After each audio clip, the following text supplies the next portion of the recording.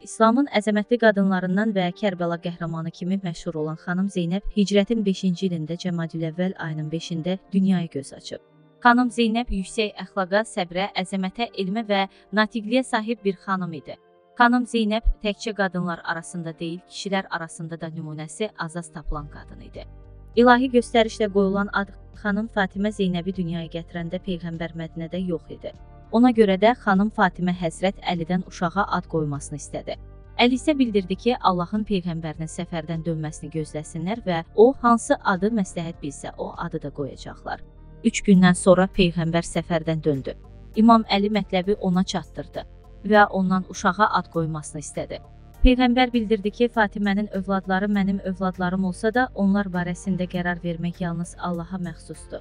Ona görə də mən ilahi vəhiy gözləməliyəm. Bundan sonra Cəbrail nazil olaraq bildirdi. Ya peyğəmbər Allah buyurur ki, bu qızın adını Zeynəb qoyasan. Çünki bu adı lövh-i məhfuzda bu cür yazmışam. Bunu eşidən peyğəmbər təzə doğulan körpəni onun yanına gətirilməsini istədi. Uşağı qucağına alan peyğəmbər onu öpərək buyurdu. Ümmətin hal-hazırda mövcud olanlarına və gələcək nəsillərə vəsiyyət edirəm ki, bu qızın qədrini bilsinlər, ona hörmət etsinlər. Çünki o Xədicə Kübra kimidir. Bir qəlb, iki məhəbbət. Xanım Zeynəb hələ uşaq yaşlarından yüksək mərifətə sahib idi. Bir gün o atası Əlidən soruşur: "Atacan, məni çox istəyirsən?" Əli cavab verir ki, "Bəli, qızım, çox sevirəm." Bu cavabdan sonra xanım Zeynəb buyurur: "İki məhəbbət Allaha və övladlara qarşı duyulan məhəbbət bir qəlbə sığa bilməz. Ona görə də əslində xalis və həqiqi məhəbbət Allaha məxsusdur. Şəfqət, ürək yanma və rəğbət isə övladlara məxsusdur." Və övladlara qarşı duyulan məhəbbət özü də Allaha xatir olur.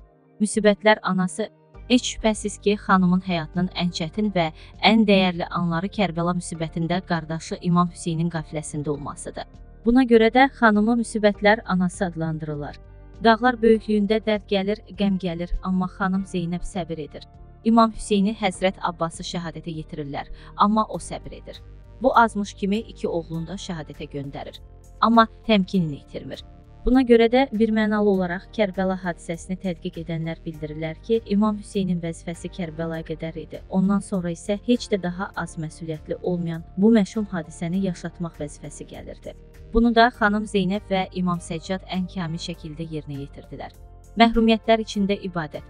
İmam Səccad bibisi Həzrət Zeynəb barəsində bildirir. Kərbəlada bütün o müsibətlərə baxmayaraq bibim Zeynəb hətta öz müstəhəb namazlarını da qılırdı, münacatlarını edirdi. Bütün bu məhrumiyyətlər, səfər yorğunluğu və yetimlərə nəvaziş onu bir anda Allahdan uzaq salmırdı. Bundan əlavə Kərbəla qəhrəmanının ibadətindən xəbərdar olan Seyyid Şühədə İmam Hüseyn xanıma buyurmuşdu. Əziz bacım, qıldığın gecə namazlarında mənə dua etməyi unutma. Hüseyn, Hüseyn, Hüseyn, Hüseyn.